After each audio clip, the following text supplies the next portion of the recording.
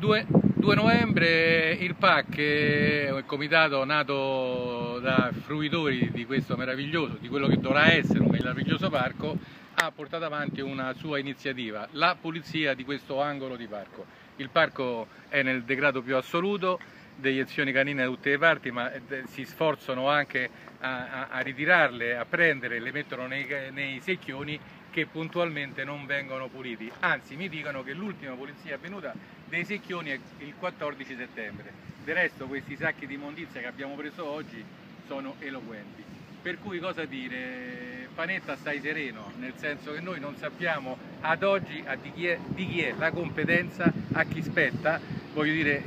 la pulizia, oltre che il taglio dell'erba che non siamo riusciti mai a capire niente, quanti, come, perché si fanno durante l'anno, quanto costano, perché tutto è un nebuloso, non sappiamo nulla, noi chiediamo trasparenza e legalità,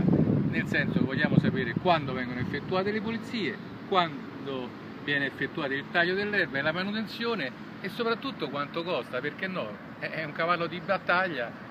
di, della giunta pentastellata di Roma e del municipio, perciò perché non dovremmo saperlo?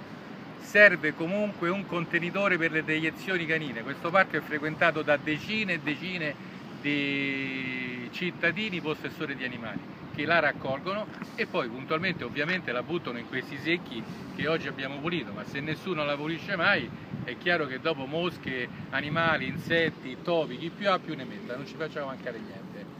Comunque noi come Senso Civico 2.0 siamo presenti come sempre, il PAC è presente, stiamo aspettando la nostra, eh, referente. la nostra referente, chiaramente mi suggeriscono dalla regia,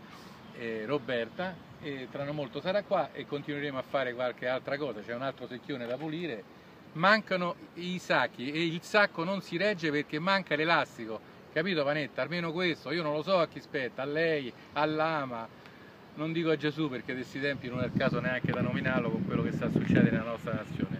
Qui Parco di Centocelle, 2 novembre, per oggi ci siamo quasi.